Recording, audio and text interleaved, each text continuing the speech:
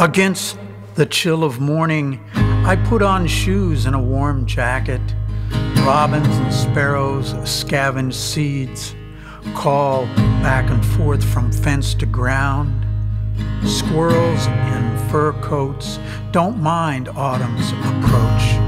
In high grass, a lone cricket chirps along the fence, unafraid of an old man with an empty coffee cup. Four city deer snort and graze on overgrown shrubs.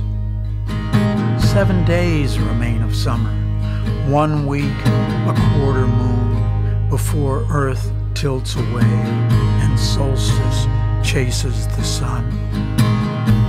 As if she knows a secret she cannot tell, Concrete Mary smiles her Mona Lisa smile, practices yoga on the wall and holds asana pose. Mary, when did you become holy?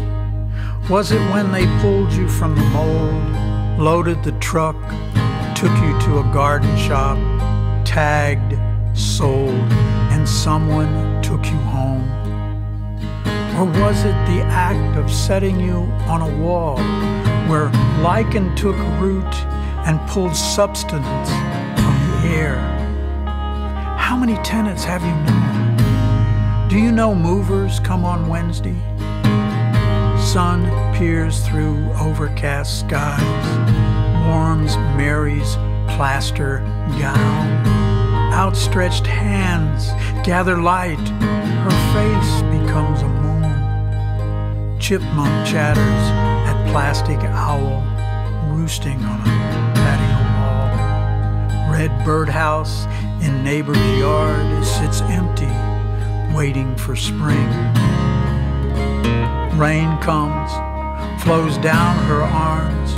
Concrete Mary does not shiver or flinch. Somewhere Joseph holds the baby, so nothing disturbs her meditation. Water drips from fingertips, puddles at feet. She holds the pose she struck when she became an Italian citizen and awaits her son's reanimation.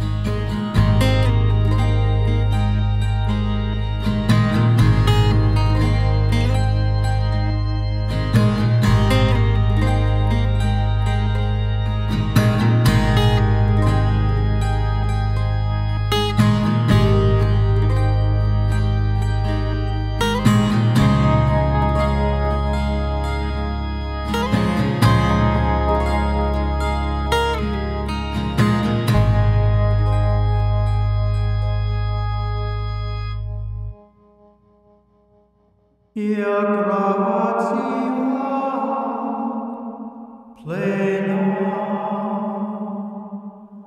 Ave, ave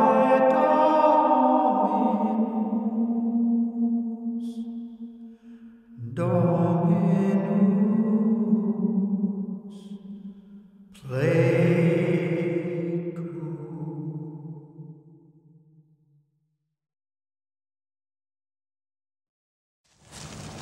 Oh, it's all good.